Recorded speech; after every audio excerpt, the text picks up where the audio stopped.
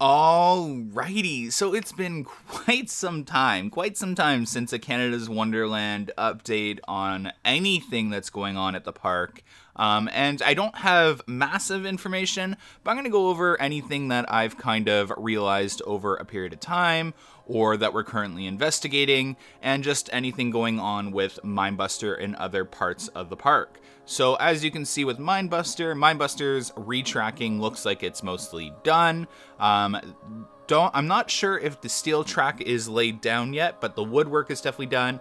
We did notice that they started to do woodwork on the structure itself, so we noticed that they're replacing some wood columns on the actual support beams. For Minebuster, we noticed some new handrails on the last airtime hill leading into the uh, helix and we've just noticed woodwork overall around the structure. Personally, this does prove that Minebuster does have somewhat of a future at minimum at Canada's Wonderland, and it is not on the chopping block anytime soon. So this does rest a lot of those uh, rumors that Minebuster is, you know, on the chopping block in the next three to five years. I would strongly say that Minebuster and Wild Beast do have a somewhat strong future at Canada's Wonderland uh, moving forward. That being said, we are also not seeing any signs of a paint job for Behemoth yet. I'm really hoping that Behemoth shows signs in early spring of a paint job. It is in desperate need of one. Um, the drone enhances the color of all the colorful objects, so the paint job does not look as bad as it actually does because the drone is enhancing the colors.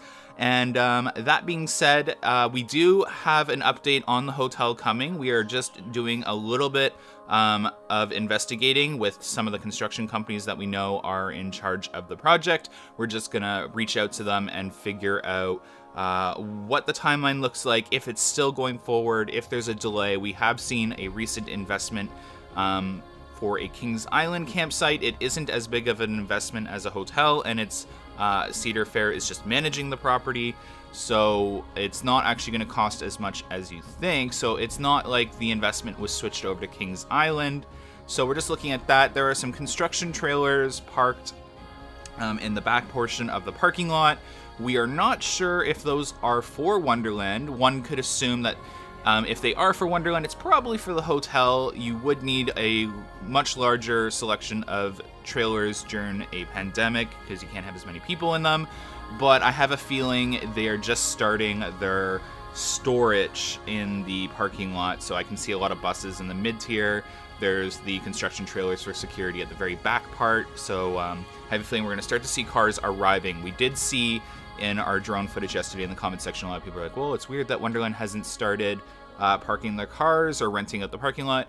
That always does come around January, especially with Winterfest now. So you will see those cars arriving. You should see them arriving, I should say, um, around January.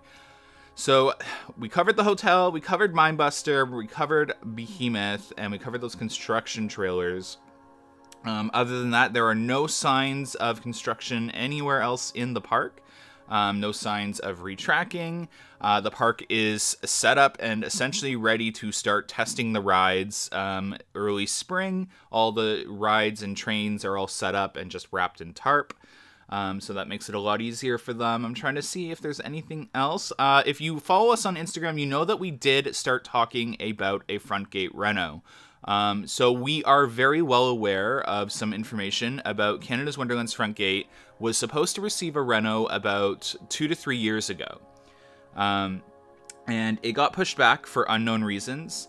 And Cedar Fair is trying to hold off on a front gate reno for uh, some time. So what they did was, for those of you that have noticed, they installed a bunch of metal detectors on the season pass processing building to hold off on a reno for as long as possible.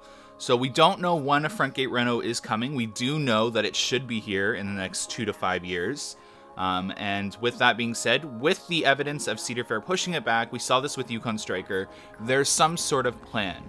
So we think that um, this could be one of two things. We could be getting an actual front gate coaster with Flight Deck and Time Warp, um, or the front gate reno that they want. They just want to make sure they hit it uh, right, and it's going to be like a re-theme, so it could be down a Canadian route. We're hoping for something, per- like personally, we're hoping for something um, Great Wolf Lodge like. So like the wood Muskoka theme with maybe even some of those like Native American design pillars with the wolves and the eagles. That'd be really sick, or just tree branches, like large tree branches holding it up something along those routes. But we do know a front gate reno is coming. Uh, it is in desperate need. The current front gate cannot handle Wonderland's crowds anymore, and it can take upward of an hour to get into the park some days. Um, and there's a lot of new security technology too that the park can uh, dabble with uh, when they do a front gate reno that can help with getting crowds through faster as well. So it'll be interesting to see what kind of route um, Cedar Fair and Canada's Wonderland go down with a new front gate. Um, and uh, yeah, I'm truly looking forward to it. So hopefully this update uh, sufficed. I know it's been quite some time, so hopefully uh, you enjoyed this update. Thanks so much for watching, guys, and hopefully you had an amazing holidays, and hopefully you have an amazing New Year's as well. So here's to a better, much 2021. Hopefully, fingers crossed, knocking on wood.